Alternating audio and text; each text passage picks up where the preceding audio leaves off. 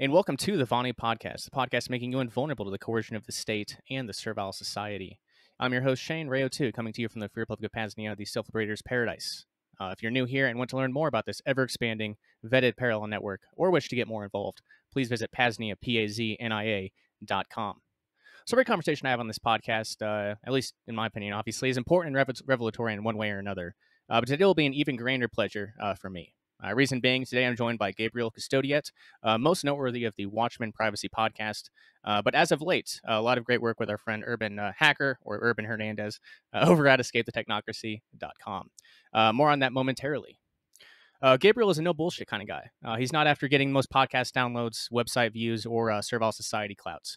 no, much much like me, it's about delivering the best practical knowledge, quality over quantity, and supporting supporting the individuals and projects uh, risking their freedom to bring privacy to those who recognize they need it desperately. Uh, all of those reasons alone are ma- are a major reason why are major reasons why I appreciate Gabriel. Uh, but that's not all. Uh, over at escapethetechnocracy.com, he and Urban Hacker are offering the privacy course I would offer if I put together one.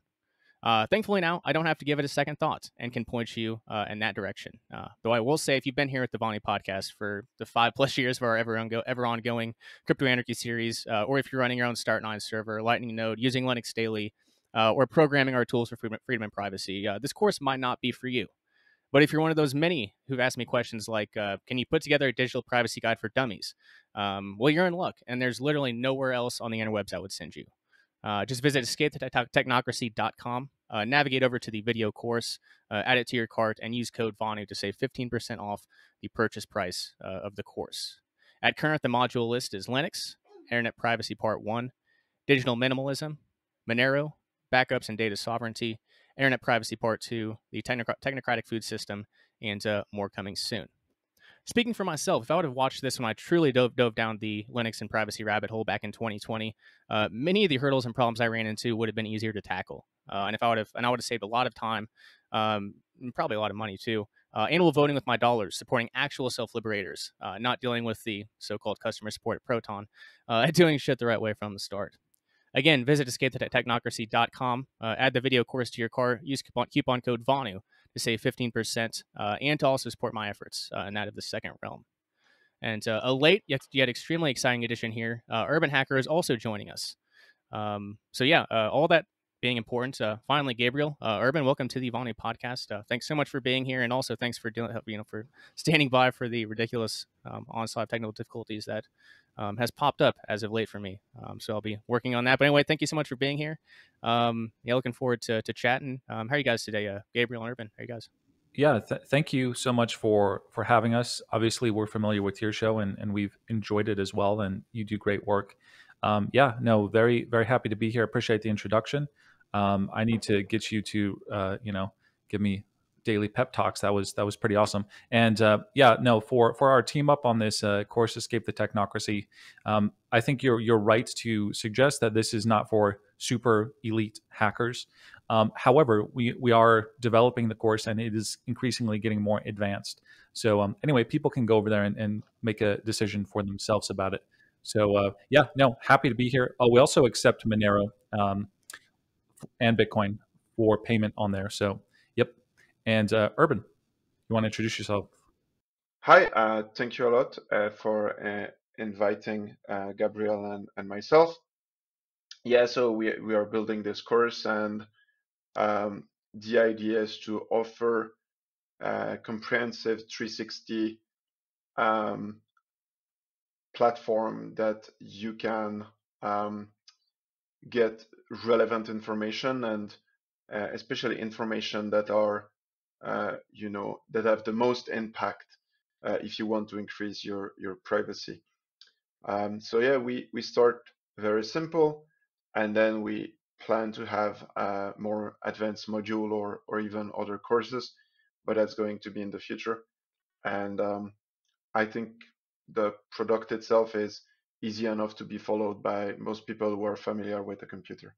Yeah, no, I, I certainly agree, and uh, that's that's great news that it's. Uh, I figured it, it was going to continuously be developed, but I wasn't sure what the uh, what your future plans for it were. Um, but yeah, you know, I, am I'm, uh, I'm certainly appreciative uh, to to you know to um, you know to have access to it, and um, I will uh, yeah most certainly keep updating myself. And yeah, again, I'd recommend my my audience uh, definitely definitely check it out. Um, so yeah, I guess to to start off here, uh, obviously like to get a back a little background on uh, on the self liberators we have on this podcast.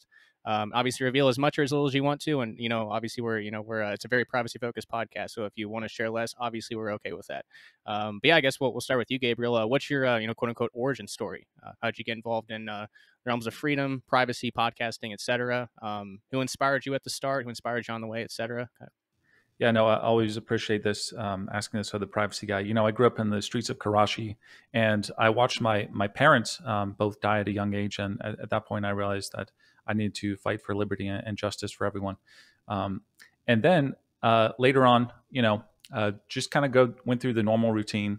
Um, and you know, a few years ago, I came upon the correct politics, and I started to understand the world a little bit more. And I started to realize that uh, privacy was very important. I didn't. I liked some of the way it was being talked about, but not in other ways. I think there's a lot of uh, communists that are in the privacy advice sections, and they're obviously not being very helpful because their worldview is not one that actually sustains freedom or privacy. And so I created my own show. I wrote a book, a privacy guide, and I started talking about not just privacy tactics and willing to go deeper than most, right? A lot of people not willing to talk about Monero, not willing to talk about torrenting, other sorts of things. Uh, I'm willing to pass that uh, boundary, shall we say. I'm also willing to talk about the philosophy that undergirds privacy, which is anarchy, libertarianism, something of this sort, obviously. Um, much limited government, let's just say that. And so I talk philosophy as well on the the show. Um, and you know, so I think people can see my background both in a little bit of tech, but also some of the the philosophy and the ideas that are also important to kind of get a comprehensive view of privacy. So that's where I'm coming from with Watchman privacy.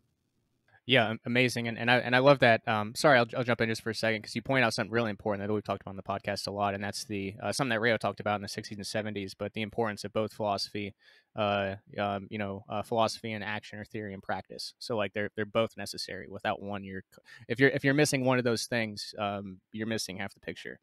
Um, but uh, so yes, that's that's that's amazing to hear, man. Um, amazing to hear. But yeah, Urban, um, yeah, it's uh, uh, we're I was definitely planning on having you on the Vonu podcast sometime soon, but uh, you know, it's uh, so again, great to have you. It's it's definitely a great surprise. But uh, yeah, your turn, uh, your origin story. Huh? How'd you how'd you get here?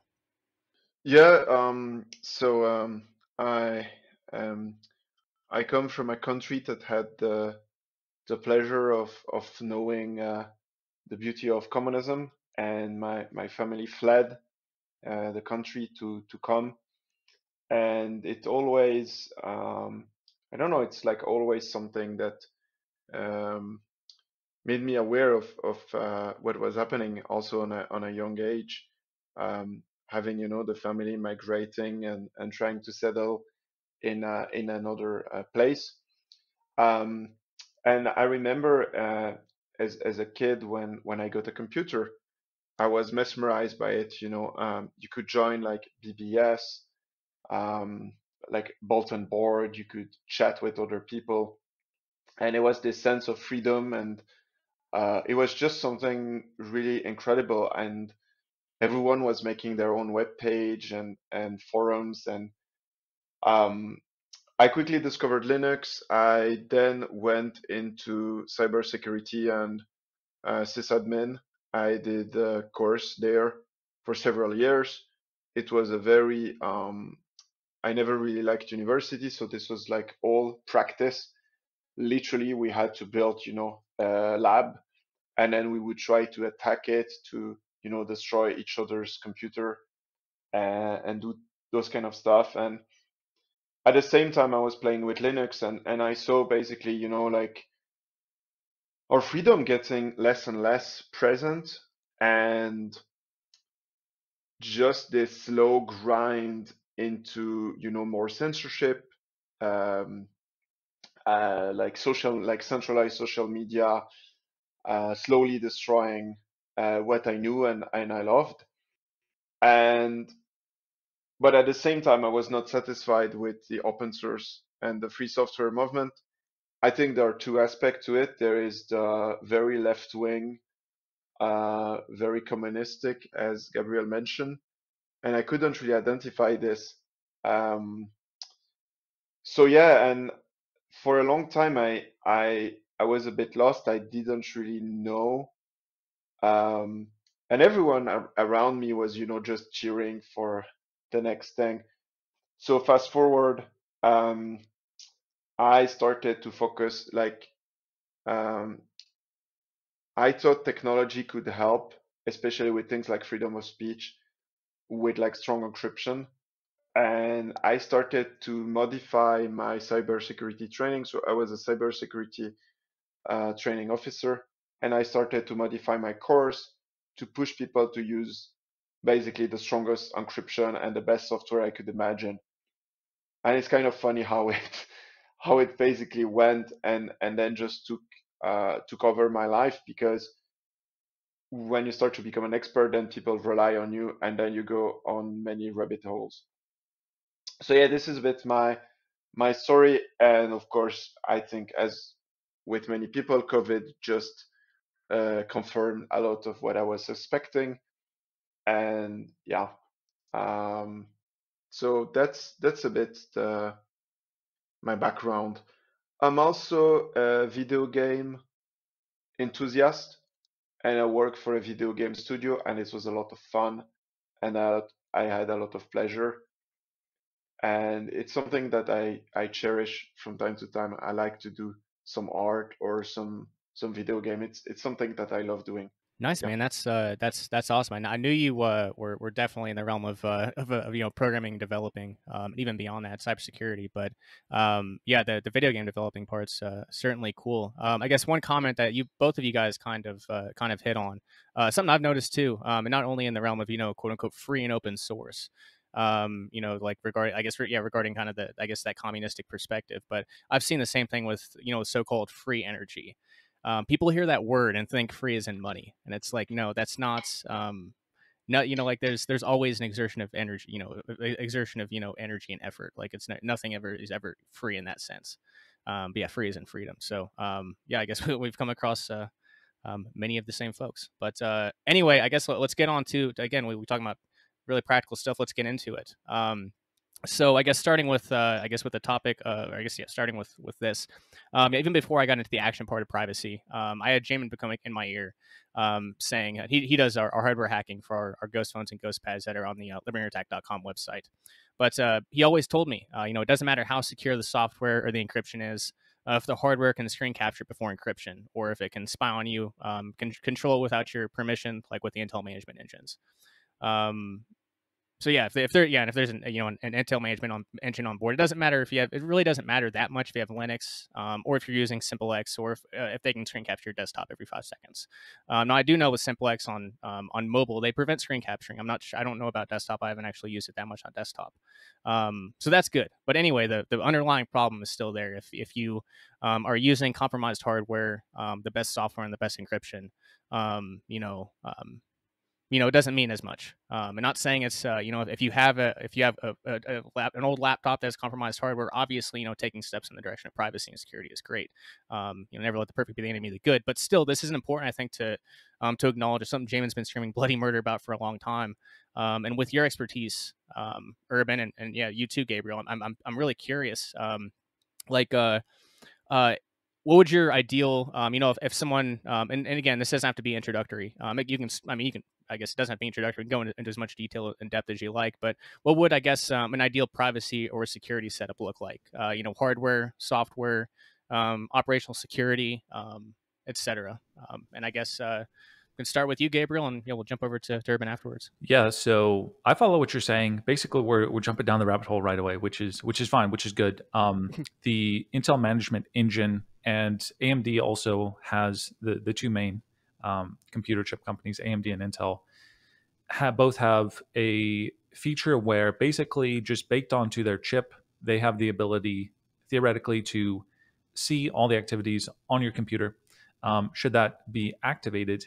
And what does it matter, right? Is what you're asking. What does it matter if we're using things that we recommend, like Linux, which helps you escape the Windows Windows uh, ecosystem, where it's which is becoming increasingly surveying. And for all we know right now, because it's closed source, they're already doing a lot of surveillance. Um, Linux, which helps you escape the Mac operating system and all of its problems, which might not be as bad as Microsoft, but as long as you're exiting, you may as well go to Linux. What does it matter? The FOSS that you're using, things that we recommend like KeePass XC and all the other good free and open source software. What does that matter if AMD and Intel can just get past that immediately right from the start? So, what I would say here is that I don't. I'll just be honest, and, and I think Urban's also in this camp. We don't know enough about the Intel management engine uh, to to be certain.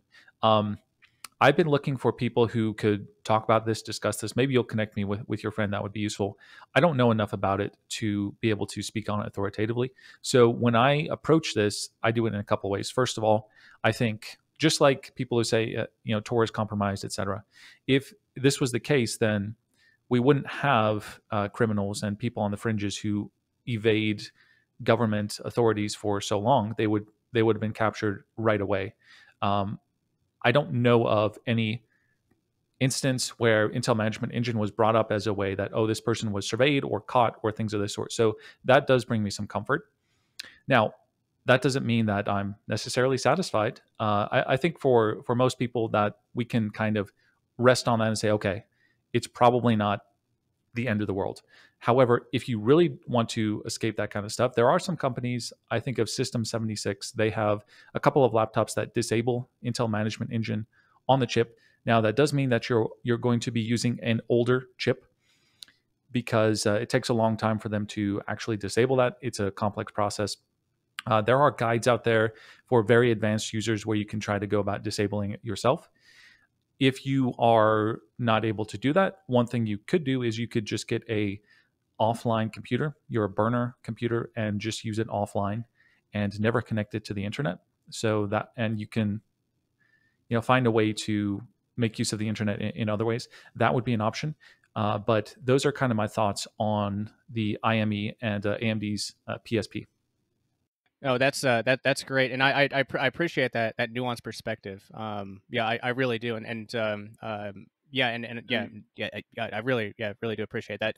So Jamin's been hardware hacking, and you mentioned the old laptops.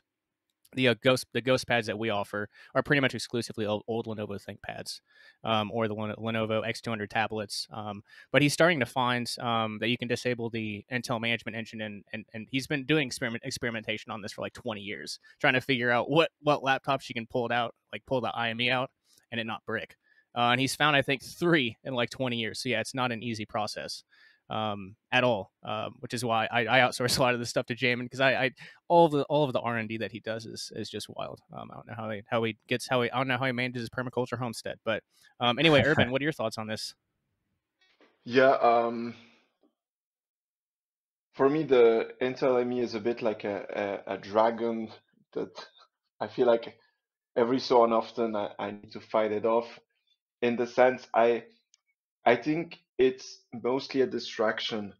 Um, and as Gabriel said, you know, um, there is this uh, video of chain uh, Alice's uh, doing Monero uh, transaction uh, tracing, and and they explain the the tactics they use in in the video. And and if you watch the clip, or if you watch the PowerPoint that they have, they didn't use the Intel ME to break into the nodes, right? No, they made fake nodes and then they use statistic analysis and they use good old IP tracing and data from exchange. That's how they did it.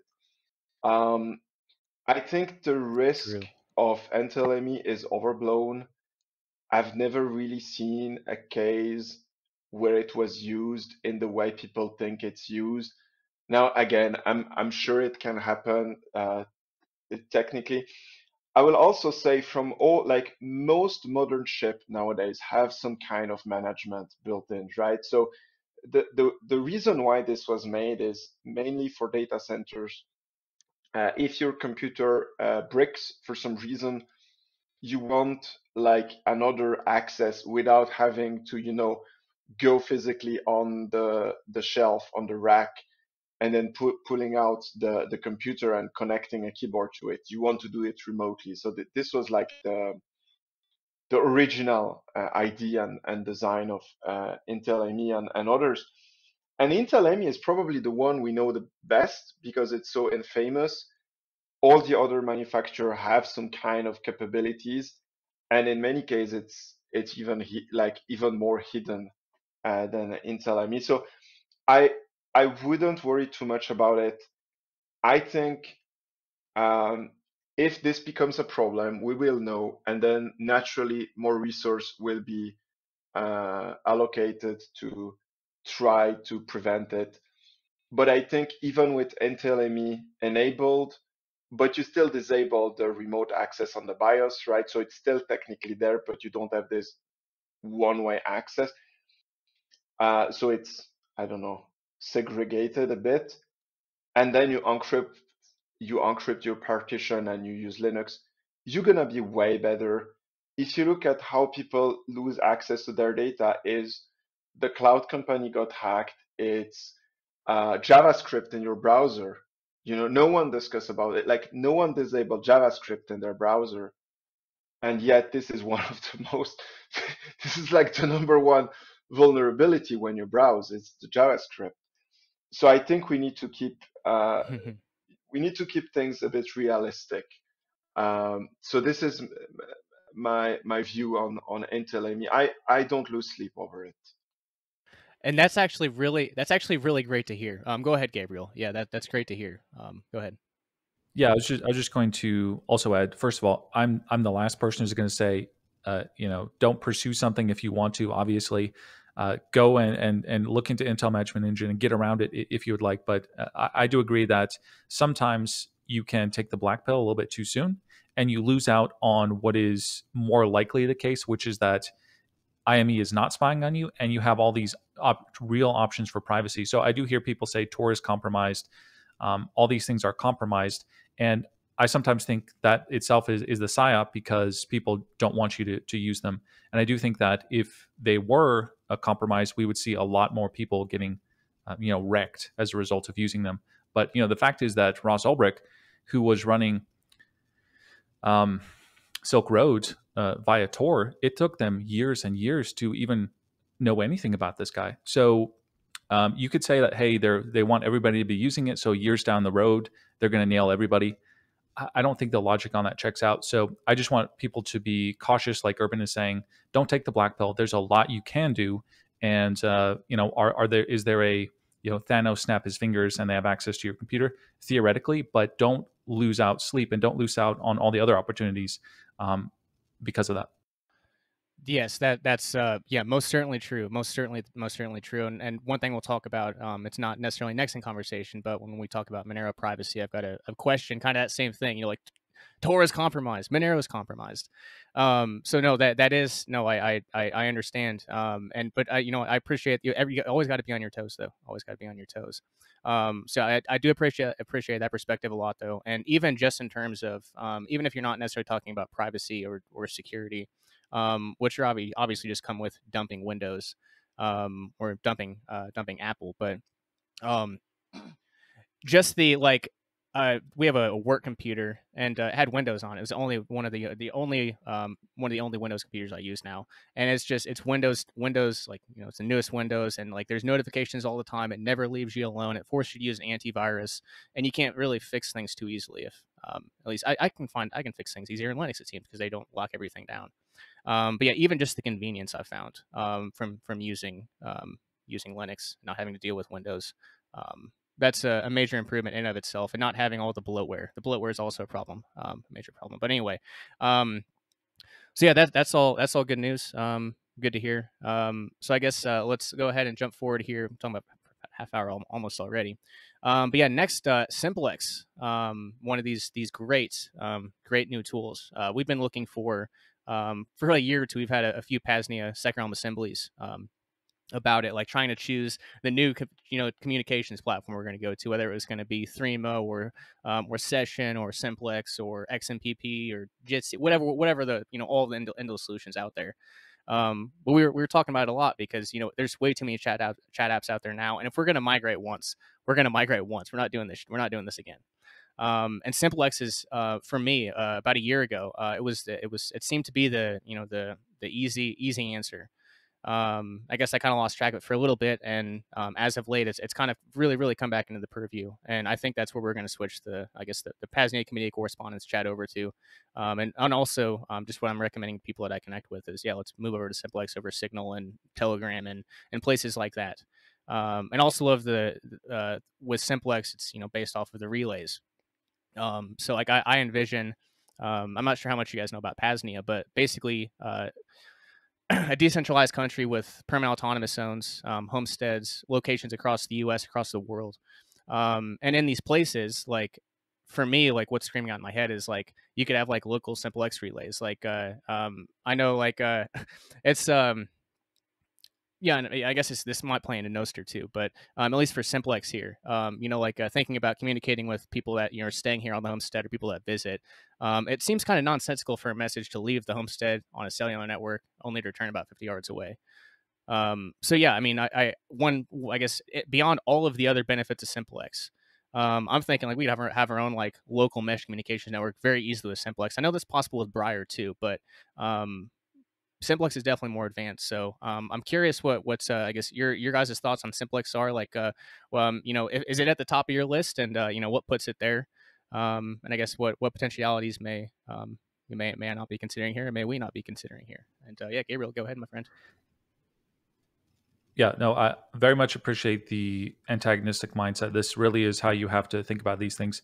I'm just I'll just say this from the start so people don't you know say hey why is he why does he keep doing this with the question we try to be we're we're generalists, so we're we're not always in the nitty gritty of what's happening with this particular private messenger or what's happening with the minutia of Monero or something like this. So, especially me, I I'm certainly a generalist, so I'm not the person who really should be getting into the nitty gritty of private messengers.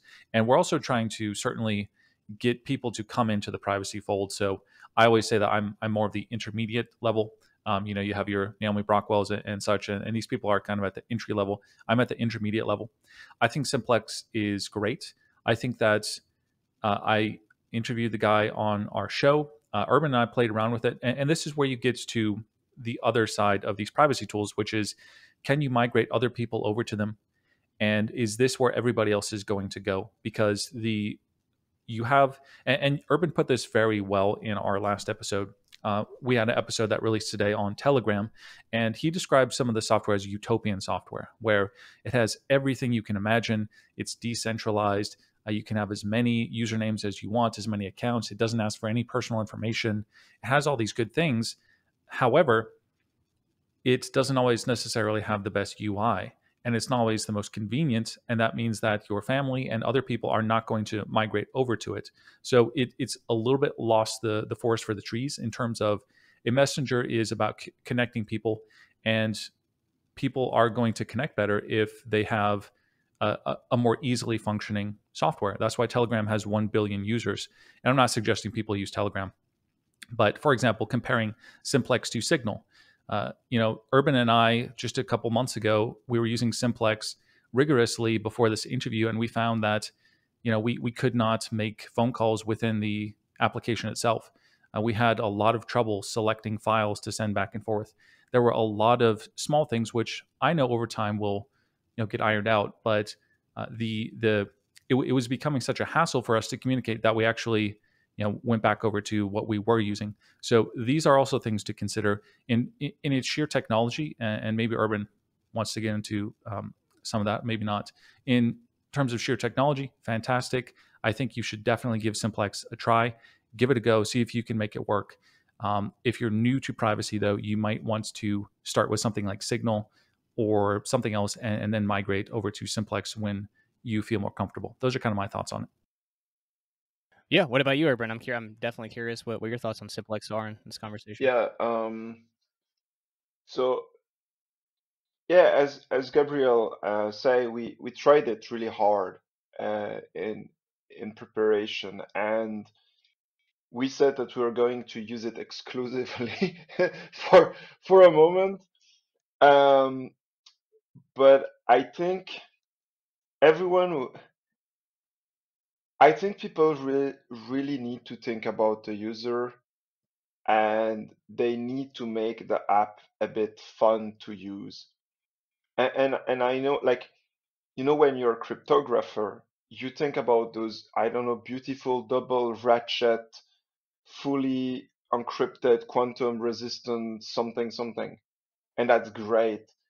Uh, but then if it's if you don't have stickers and you cannot really use reactions and then your message arrive in a weird order. Like all of those are tiny things and and people like most people don't care so then they just will switch back to whatsapp right?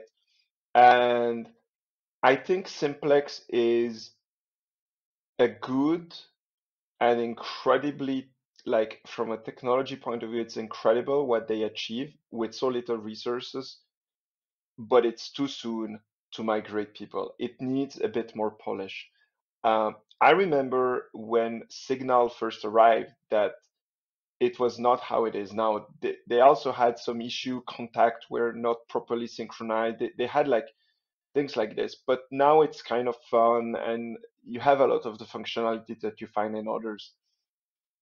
And you know, I I believe we need to like the way we need to move people is to go with the simplest thing that give like the one thing I, I love asymmetrical um, uh, advice in which you ask the user to change one little thing, but then the improvement is immediate and and it's um, it's something that benefits them and and make them more secure. And if if you see like most people still use SMS, you know what I mean? Like they, they still send from time to time SMS, which are completely unencrypted. So yeah, just switching to WhatsApp would already be a big improvement. Now, of course, for something like Pez, yeah, of course, for something like Paznia, I would not uh, advise using WhatsApp. But I think we need to be realistic. And what I found when I tried to onboard people uh, on on Simplex, the answer I got was, but Herman, you told me to use Signal or to use this other thing. Why why now another one? You know what I mean? yeah. So and, and and I find this is a bit hard. I think people like us, you know, enthusiasts, we need to take the torch and we need to kind of uh, go with it.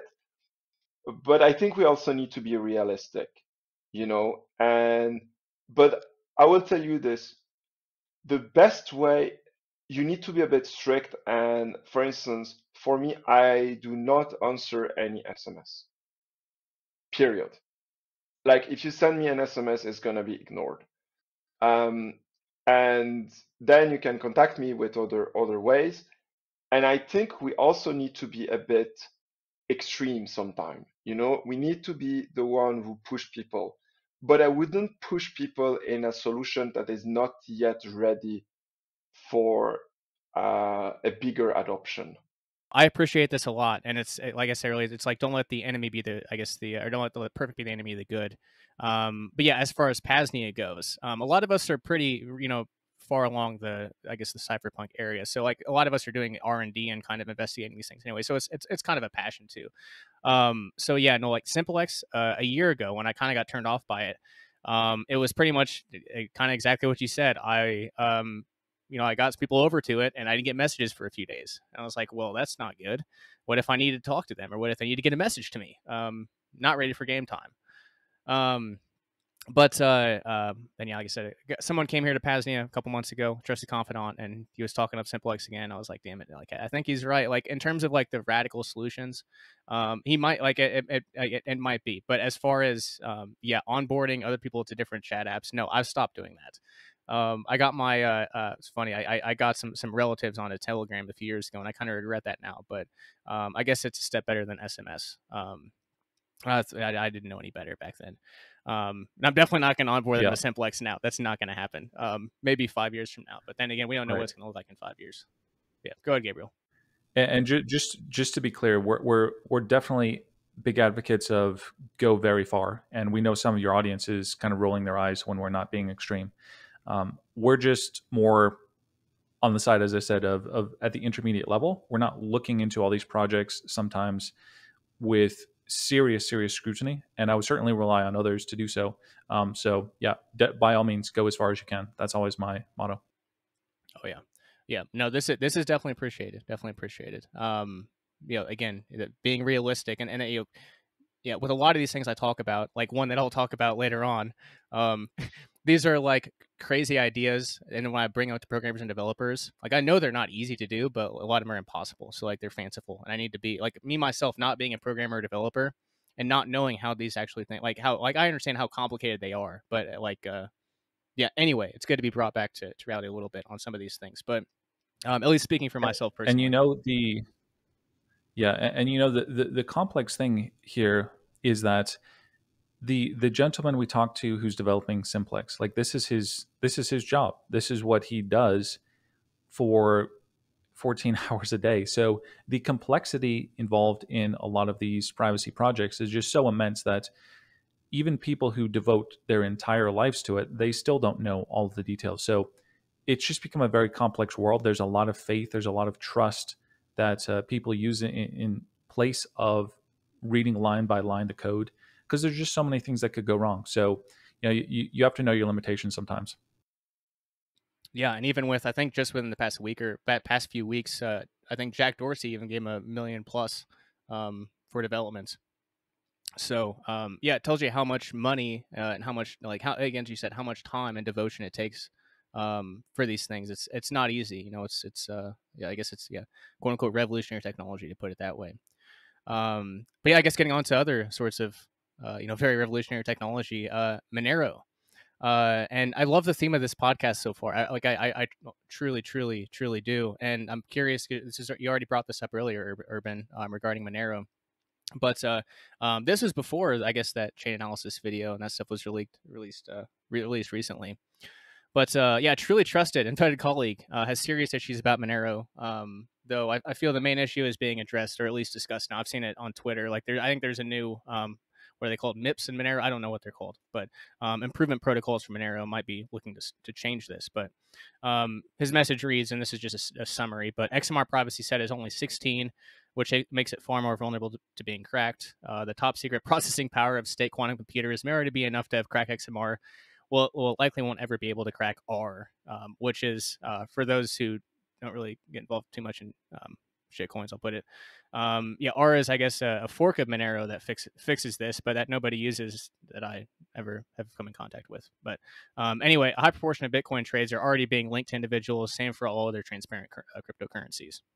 So kind of what we were talking about earlier. I mean, my response is was like, this is probably fear mongering about, about Monero, like trying to scare people away from using Monero.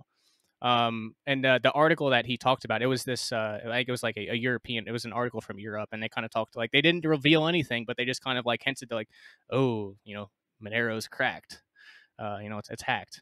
Um, but just as with a lot of these things, um, a, a, lot of these cases, uh, like with the, yeah, the XMR tracing, um, the quote unquote XMR tracing happened.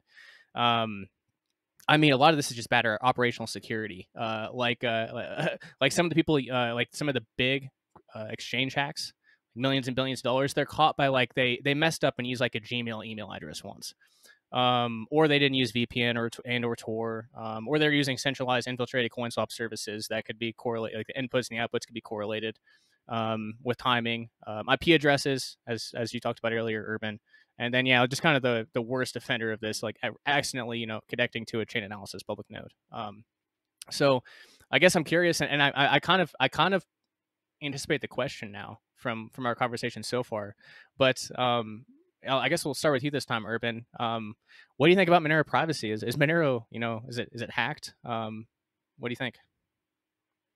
So is Monero hacked? No, it's not. If it was the case, a lot more people would be in deep trouble. I mean, you have entire darknet market running exclusively on Monero, and everyone who like I find the disinformation and the way people um how to say um turned the video that was leaked i wouldn't call released i think it was leaked uh, from uh, this change surveillance company. Like if you watch it it's obvious they have a lot of trouble to trace and they rely a lot on outside uh, knowledge, um, as we have said.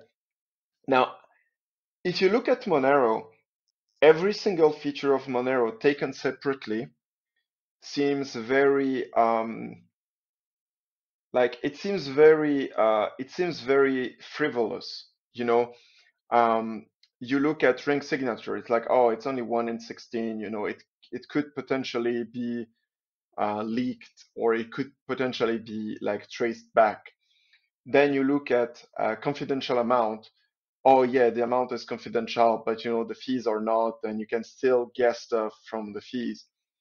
And then you look at the IP protection, which is Dandelion plus plus. And I remember before this video uh, of Chainalysis, people were saying, "Oh, but um, you know, Dandelion is not perfect."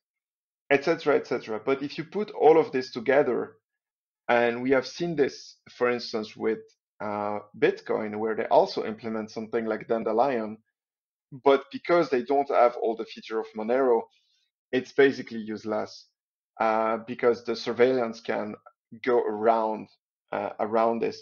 Well, in the case of Monero, you have multiple very different technology that are all like that's sad we lost Urban there. He is in his desert compound, so that's probably why.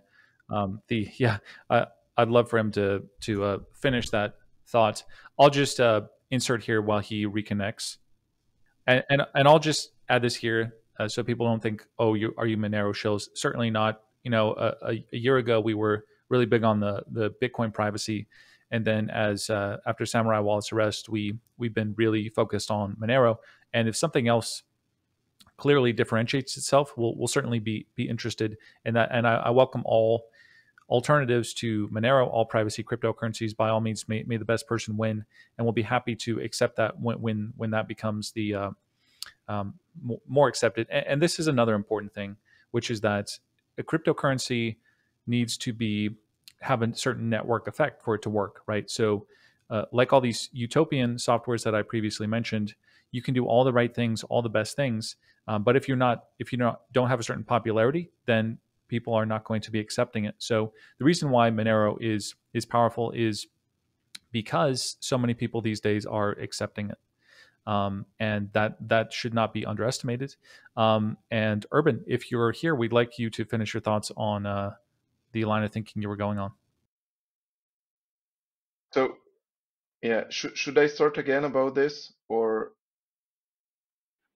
just yeah? I guess if you remember where you left off. Yeah, no, I think I. I hope I don't drop. Um, I really do. Okay, yes. So, um, is Monero broken? No, it's it's not. If it was, there would be a lot of people in jail, and if you I, I think the journalist who just probably not even saw the video and then ran with the story, I think they are incredibly dishonest and they just want clickbait things.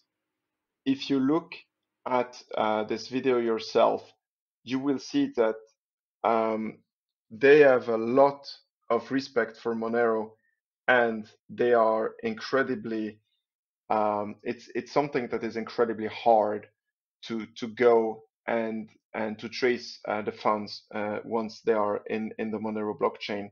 Now, if you look at every feature that Monero is using to protect its user, uh, each of those taken separately, they they look very frivolous, you know. Um, and some of them even are implemented in Bitcoin, like Dandelion which is uh, the one protecting the IP address of their user. But when they are put together, this is when they really work in, in, in a symbiotic way. And they're like walls, um, like a series of walls and layers that protect the user. So uh, if we take, for instance, uh, IP protection, you know, in, in Bitcoin, you have it, but then it doesn't really matter because, you know, you are using a KYC exchange and then the amounts are unclear on chain. So even if you hide your IP, it's pretty obvious what happened. Uh, while in Monero, the same thing becomes much more complicated because now suddenly you don't see the amount and there is one chance in 16 uh, that you got the real person who sent. Um, I also think capabilities to do on-chain tracking are overblown, and if uh, you, I, I think everybody should at least once try to do some chain surveillance themselves and to see their own transaction in maybe something like mempool.space or other um, uh, blockchain viewers. And it's not that easy to trace transaction, but it might appear, uh, it, it might lead you on a goose chase. And I remember when I was doing some investigation and I was using OXT.me, which was the Samourai, their own uh, blockchain uh, analysis tool that um, when you were uh, following the funds, it would be very easy to think you are on the right lead, but then eventually you, you would discover that you, you were completely mistaken. And I think this is the biggest, one of the biggest danger of a tool like this.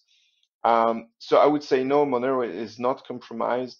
It works extremely effectively. And yes, if you take each of those, like the detractor of Monero, they never look at the entire picture.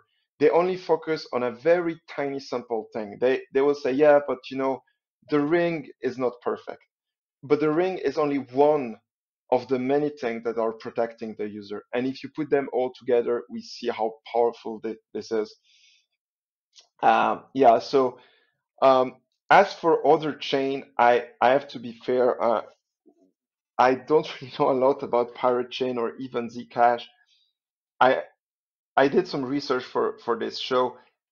I think the free market, I mean, darknet market, they are under an extreme environment, right? Either it works and it's not shut down, or it doesn't, and then it, they are immediately like destroyed. And I think there there is a reason why uh, Monero is used there. I would also add that Monero is not just about privacy, but it also has things like dynamic scaling, where if more user uses it, it will just make the block slightly bigger. Um, it has like a lot more things than just privacy, um, which are also, uh, I think, part of the um, um the reason why it's used uh, so widely. Yeah, that's I, that's uh, that, yeah, it's amazing. Go ahead, Gabriel. Yeah, please go ahead, my brother. Go ahead. Yeah, and just to clarify one thing, one thing that Urban said, he said one of the biggest dangers. Um, he was referring to the to the point that one of the biggest dangers of blockchain analytics is not that they can actually find you, but that they will um, infer certain things that they don't actually know because it's it's so opaque. And and, and to be honest, I even get upset at, at some of the Monero folks for bashing uh, just totally calling Bitcoin a surveillance coin. That's that's certainly not the case. If you have no KYC Bitcoin, you're you're doing pretty well. And, and you know, obviously, we want people to to go further, uh, but we we also need to be realistic. And, and you know, the, there's two types of people in, in, privacy. There's the one type who are the the developers, the people who are pushing the boundaries, developing new tools, anticipating the next obstacles, anticipating the next threat. And then there are people who are doing more kind of onboarding, showing how to use the current tools that are working and kind of how to make the most of them. And in the process, they bring in new people who will become that first group of people who will go to the cutting edge. And we're certainly in that second uh, category of people. Yeah, yeah, and I and I guess uh, yeah, let, let me be clear. So like uh, I, I say shit coins and um and Monero. Um, I don't. I'm definitely not meaning that about Monero. Um, kind of like we were talking about earlier with adoption, like moving from commu- you know um community you know chat apps to chat apps. Uh, it's it's part of it is about like like especially like for financial stuff like people don't accept the digital currency why would i hold it? Like why, why would i ever hold it?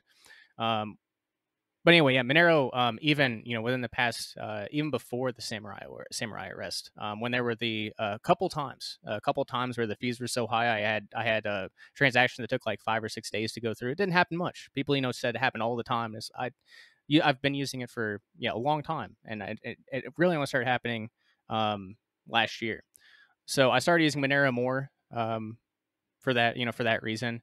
And uh, then yeah, after the I guess after the Samourai Rest, it's it's now. Um, I mean, yeah, I guess let me be clear to the to the audience too. Like I probably I I, I recommend people submit Monero now, um, just because I'm kind of still I still don't know exactly um, how I want to go about the Bitcoin privacy um, thing now, and, and there's still no re- there's we, they go to trial what September 17th. So I mean, um, there's still a lot, a lot, of unanswered questions there. Um, but anyway, not that that's that's super relevant. But anyway, um, yeah, I guess uh, um, part you know going back to Samourai um, you know what they were doing with the bitcoin chain was you know adding doubt right that's that's kind of the goal it's it's like adding doubt um, you know throughout the process um, and monero by default um, without doing the the coin joining without using all of those amazing tool, tools that sw and uh, and tdev you know put out um, and a lot of open source contributors too.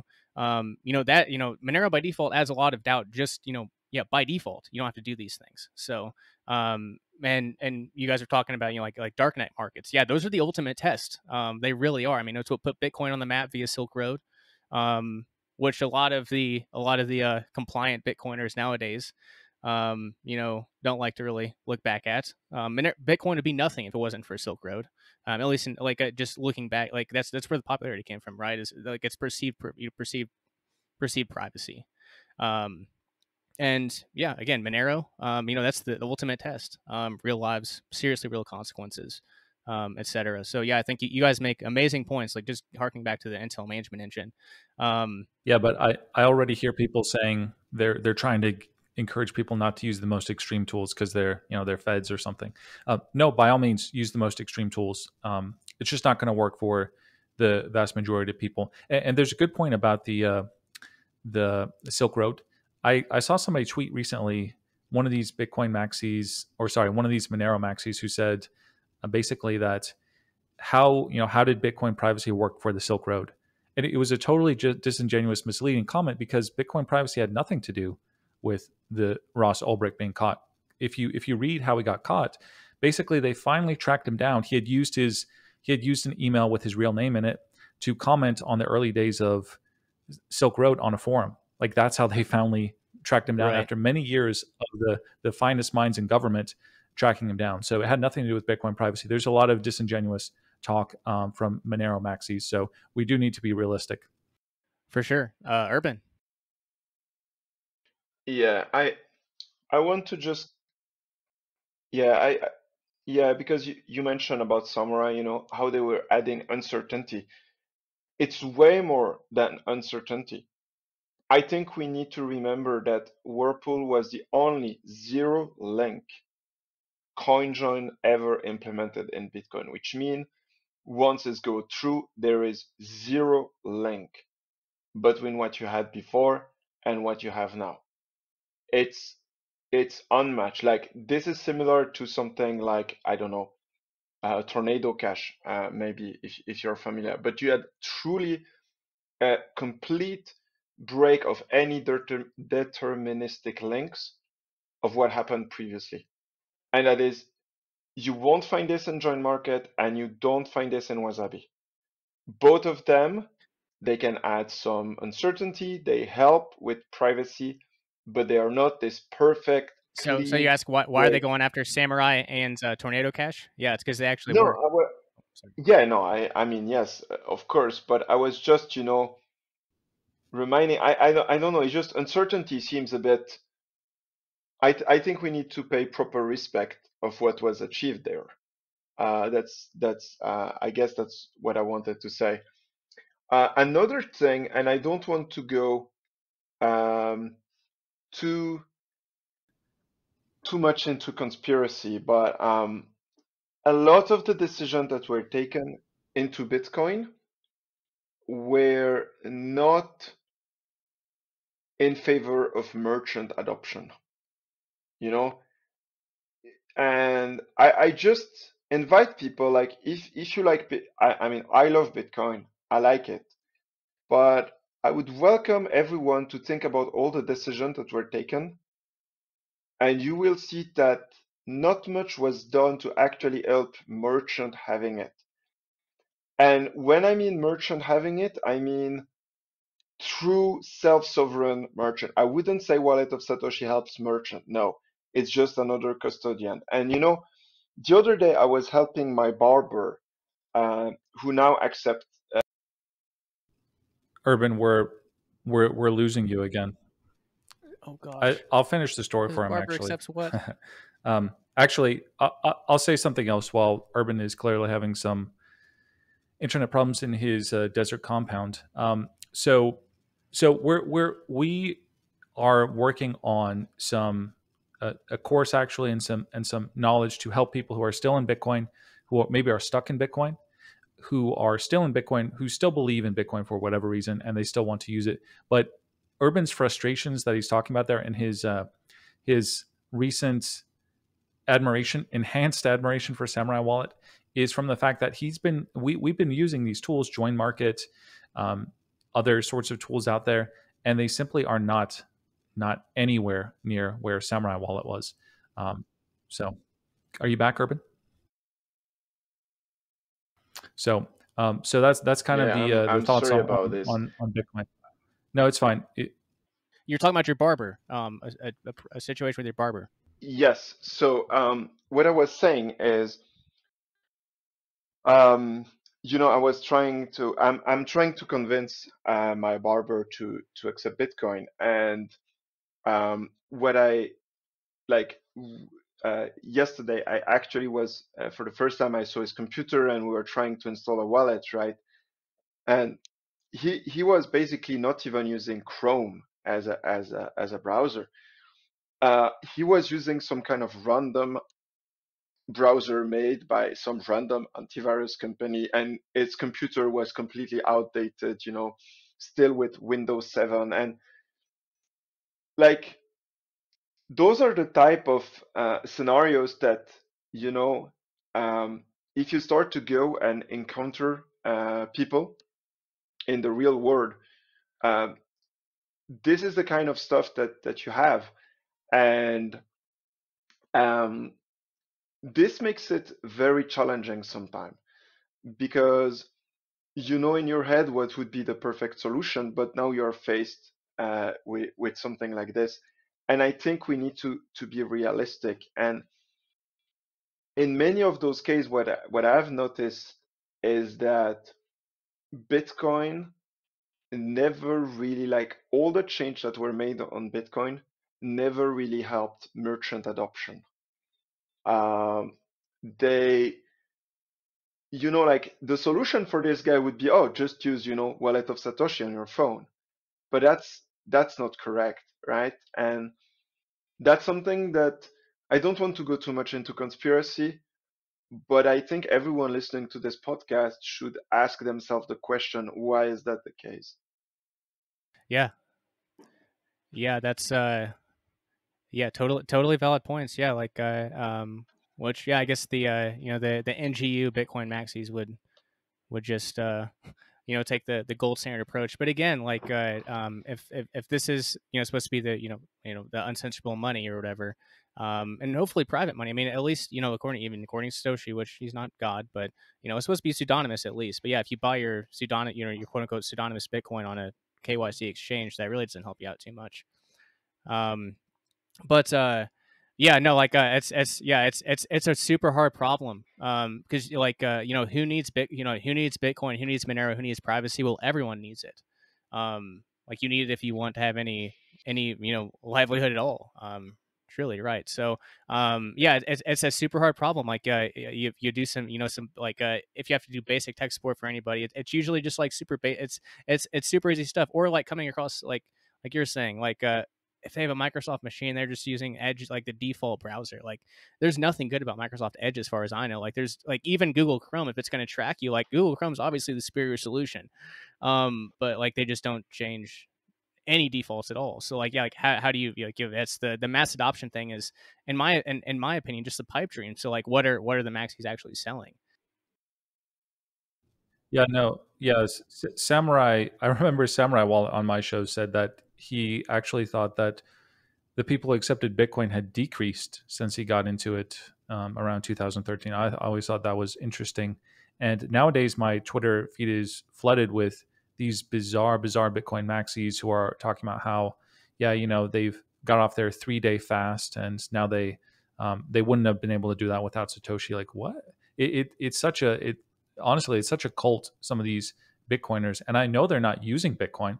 I know they're not. I, I we see them on our shop. These people are not using Bitcoin. I'll, I'll tell you what. So I don't know what they have it for. Well, we do know what they have it for. They have this theory that something has to be held that has to be saved in order for it to be valuable. I think that is wrongheaded for many reasons. Uh, I don't think there is a correlation to gold with with Bitcoin because it's not a physical thing. It needs to be spent if it is going to have value in the long run and not just go off a cliff one day. So yeah, the the the, the maxis really have it wrong.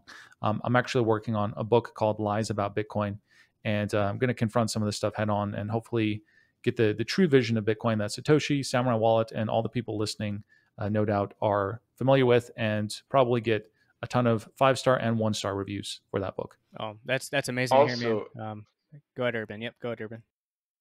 Yeah, uh, yeah, I'm aware of a bit of a lag, but um, I would say two things. Uh, number one is how do you improve privacy in Bitcoin? Just use it as peer-to-peer money. That on its own will do mixing. That on its own will have many people using, changing, and then it becomes extremely hard uh, to to uh, trace just because of the sheer amount of volume and data. The other part of this is, you know, if you're in Bitcoin, like Bitcoin has two two things. Let's say it has the NGU, you know, number go up, and then it has the other uh, aspect of it, which is um, money and and peer-to-peer cash if you're just using half of it, you miss the you miss the point. Like if you just uh, use it for payment, uh, then when it pumps, uh, you won't benefit uh, from having more capital available to you. And I know so many merchants that accepted it, immediately changed it for fiat, and now they just have their eyes to cry because they completely miss uh, the amazing return that it had.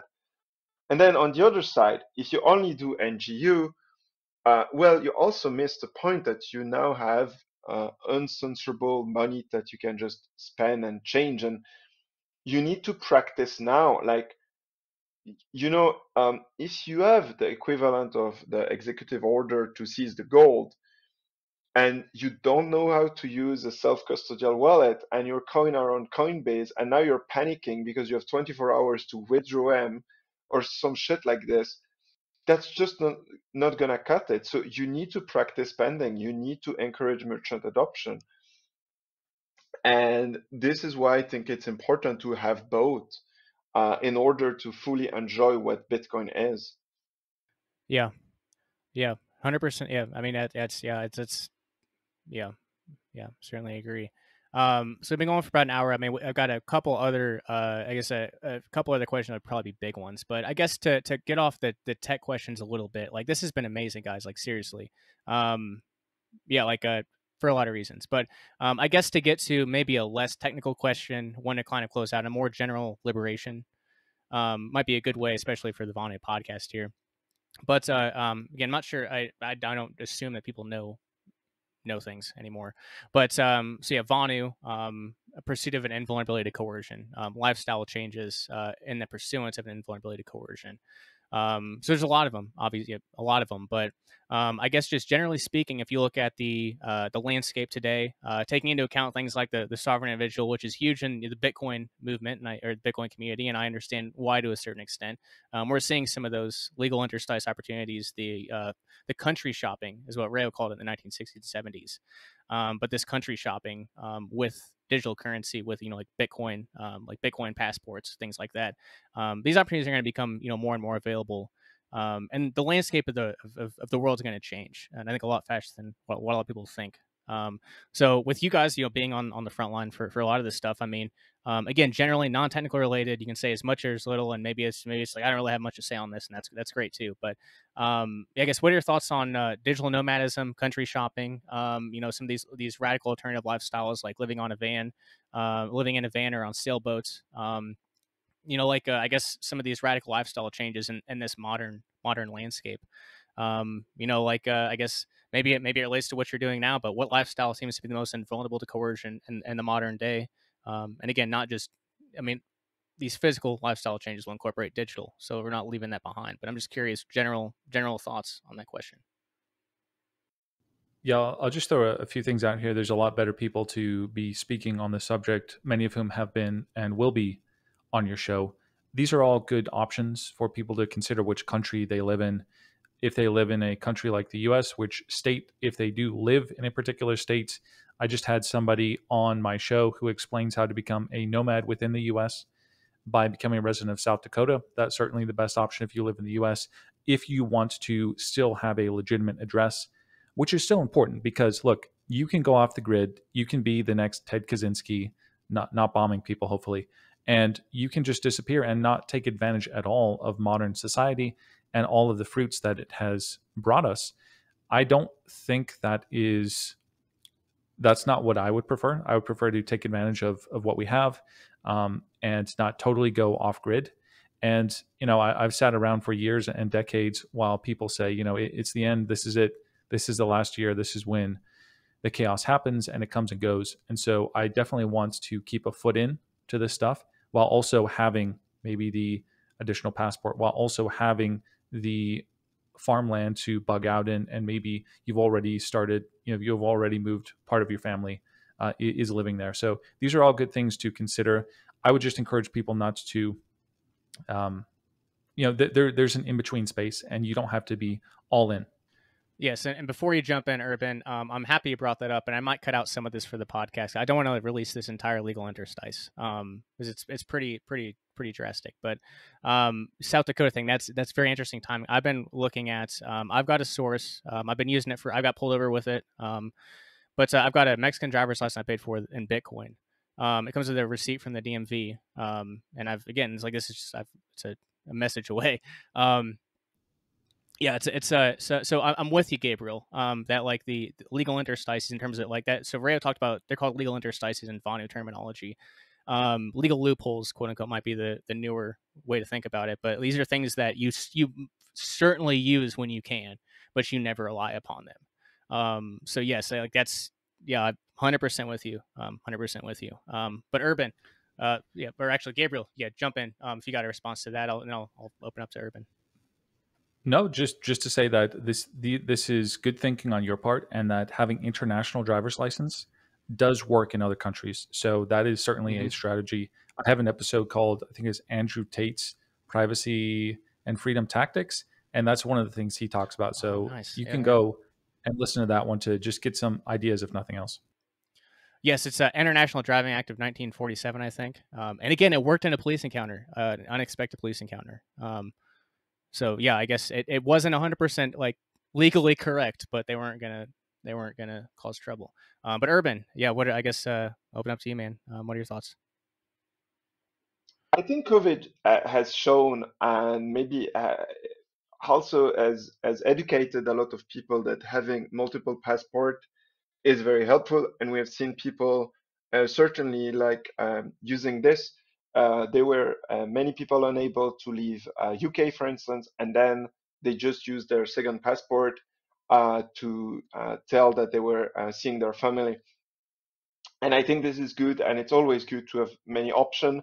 And it's also good that you you test those options before shit happens. You know, this is important um, to not uh, just wait for the end of the world and then, uh, as we have said in, in the case of Bitcoin, and then wonder uh, how all of this is, is going to work. Um, one thing uh, about this, uh, wait, I, I lost my train of thought. Ah, yes, yes. So um, about the sovereign individual, I have a bit of a different take than many people. I believe most uh, humanity will not really be sovereign. I, I think there are certain like it's not for everyone uh, to become sovereign individual. It requires certain mindset, but you can onboard people uh, if you have this mindset. You can basically onboard people. So I, I give you an example. I'm part of an initiative to have uh, open uh, Wi-Fi mesh networks so that um, easily uh, go to their um, people could easily connect to free Wi-Fi. And what I've noticed with uh, with this is that oh, I think I lost my connection again. I I hope. Uh, oh yeah yeah yeah. yeah.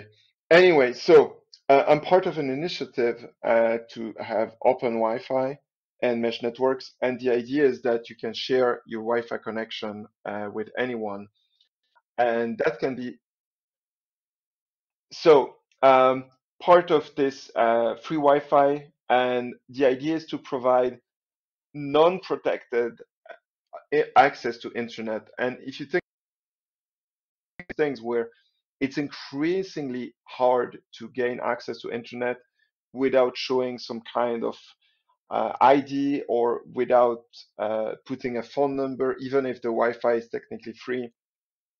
And I believe those are little things that uh, you you might not have everybody with sovereign individual, but you might enable a lot of people along the way uh, to gain some freedom and to have access um, in, in this. Um, yeah, so that's that's my take on it.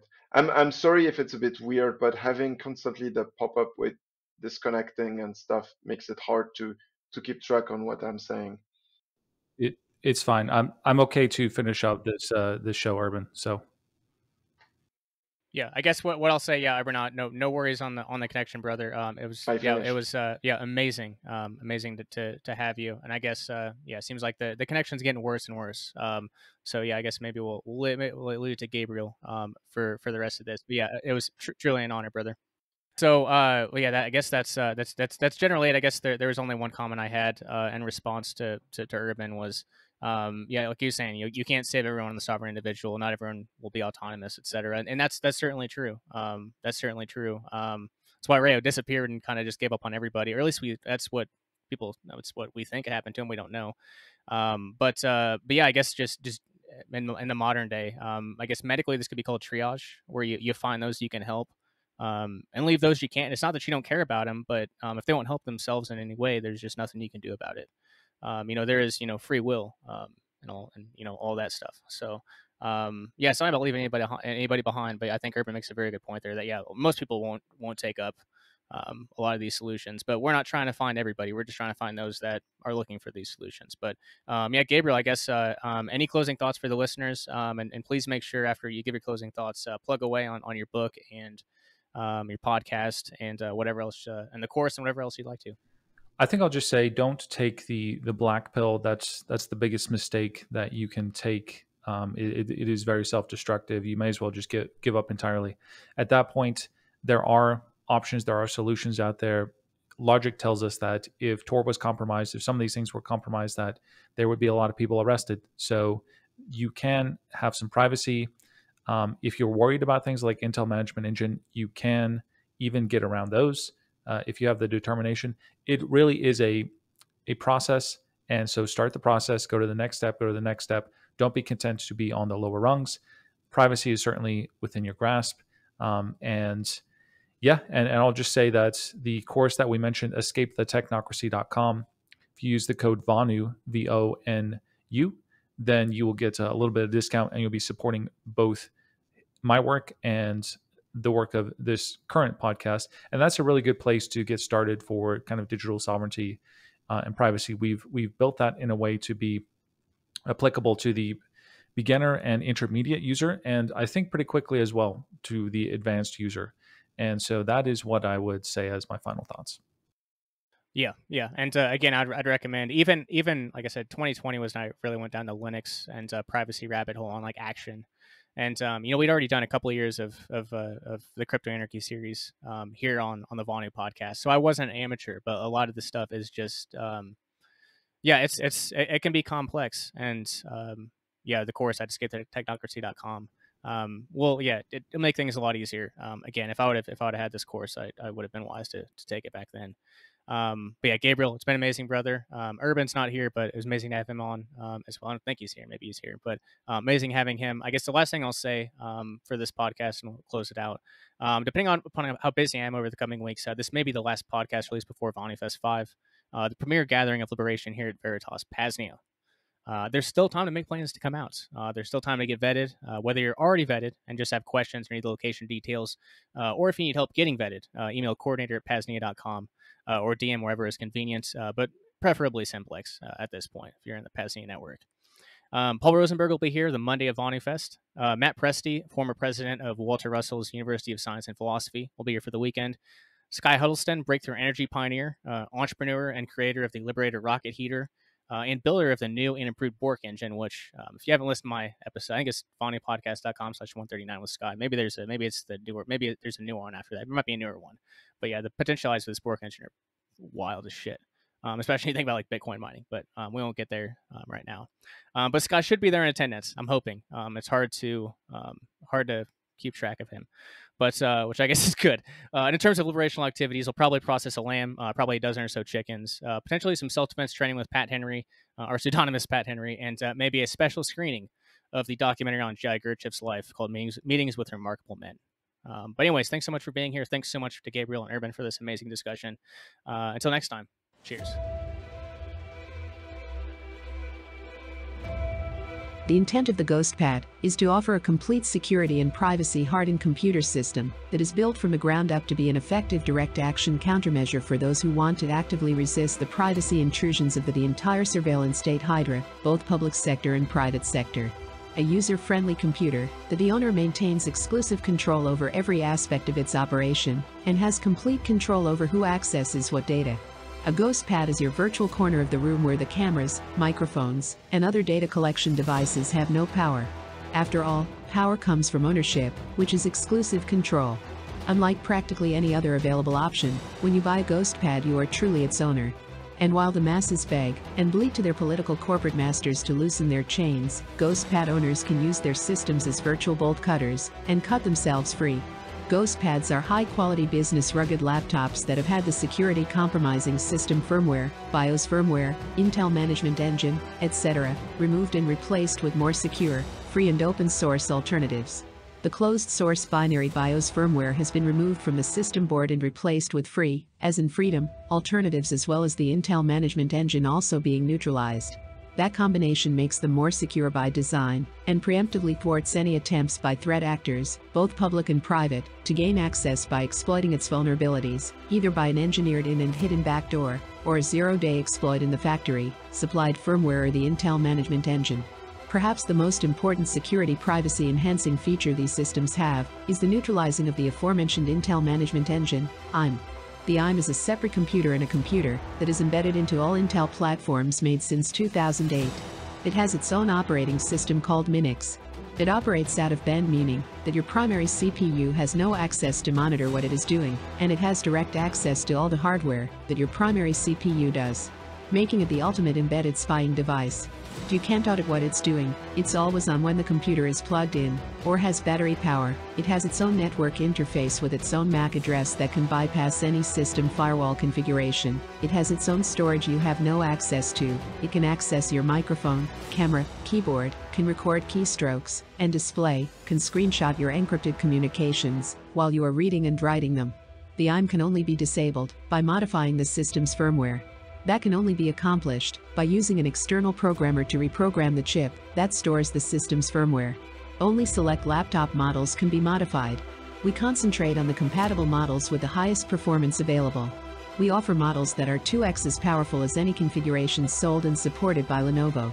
Transitioning your computing activity to privacy-hardened platforms is a direct action strategy to resist the attempts at total omnipresence by the surveillance state.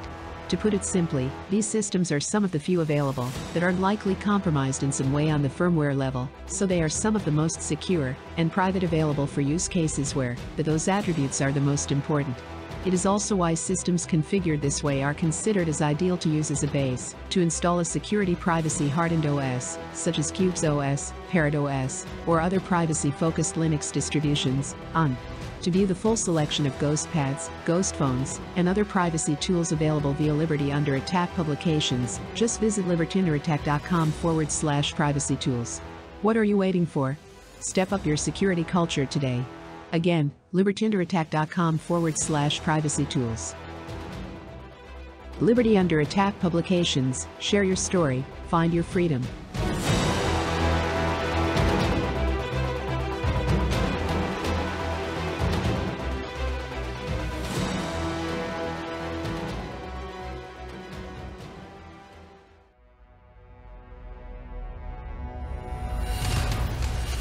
That's really the issue that we're dealing with with these, you know, ghost phones, ghost pads, whatever, is that there's no way that you can organize with with other people and have these distributed tribes if you have a snitch in your pocket all the time. Mm-hmm. People are literally wearing wires all the time. They have a snitch in their pocket and they're trying to do clandestine things. That's never going to work.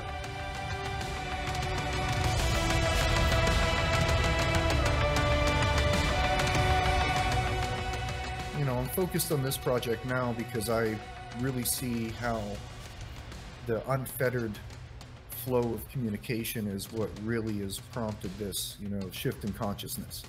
And that if this does, if this can't continue this way and people can't communicate freely with each other, then all the dis- distributed networks that have formed um, aren't going to be very effective, and they're not going to uh, they're not going to be able to do what they could do.